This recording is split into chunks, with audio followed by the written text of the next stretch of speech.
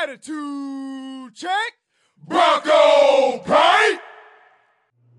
And welcome to the Broncos on Blast post-game report following the Lady Broncos 69-62 victory over the University of District of Columbia. A tremendous win for the Lady Broncos tonight, led by Tiffany Haywood with her sixth double double of the season with 19 points and 12 rebounds. Amanda Sinclair with a tremendous effort as well with 10 points, 8 assists, 7 rebounds, and 5 steals. And LaQuasha Jordan with 12 points for the Lady Broncos. And right now we are joined by the head coach of the Fayetteville State Lady Broncos, Eva Patterson Heath. And Coach Patterson Heath, a tremendous effort for you guys tonight, a tremendous win. I'm using that word a lot, but it, it, I think it's worthy today. Your impressions of how you guys played tonight? I, I echo the same adjective that you used to describe the win. It was the girls were determined.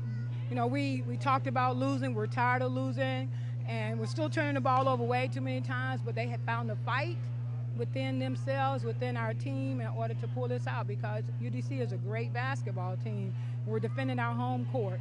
Yeah, you mentioned it. They're a great basketball team. They they had just scored 92 points in their last outing. They'd won five straight. They'd beaten we us guys Yes. by uh, 23 earlier in the season, earlier in January.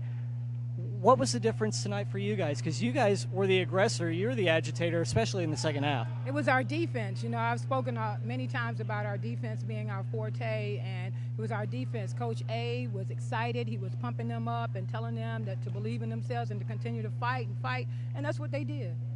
Yeah, uh, talk about um, a little bit, you know, that defensive effort a little bit. But when you guys took care of the ball, it looked like your half court offense, you had a, definite idea of what you guys wanted to do out there. You're attacking the gaps, or 1 2 2 zone. But defensively is where, where you got it done the other end of the floor, too, because that got you out in transition. It did. Um, we they're a great basketball team, as I said, great players. So we wanted to contain them on defense, keep them in front of us, um, just aggravate them for the entire time.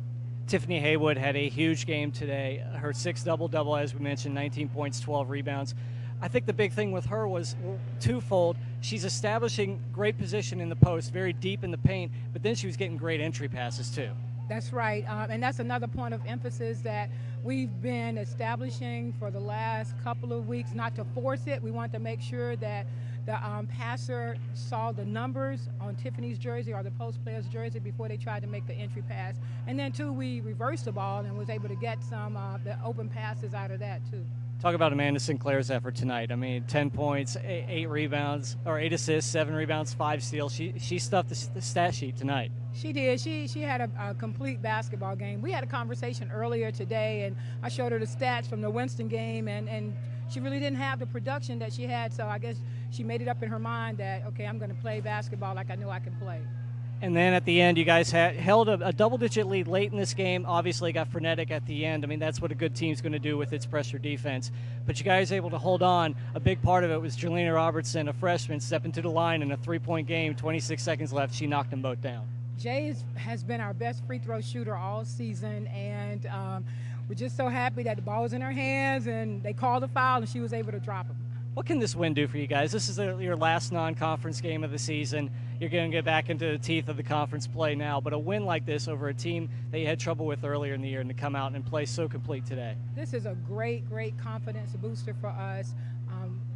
I'm going to remind them that this was just one game, and we still have plenty of games to play. And no one is going to take um, take it easy on us. We have to come out and we have to play great defense every night. But this is this was a win. It was a confidence booster. We, we really needed that. We're trying to defend at home court again, protecting our home court. Yeah. Well, congratulations, coach. A wonderful game for you guys tonight. And again, Lady Broncos victorious this evening over the University of District of Columbia, 69-62. You've been watching the Broncos on Blast post-game report. I'm Alex Podlegar. Check back at FSUBroncos.com for all the latest in Fayetteville State athletics.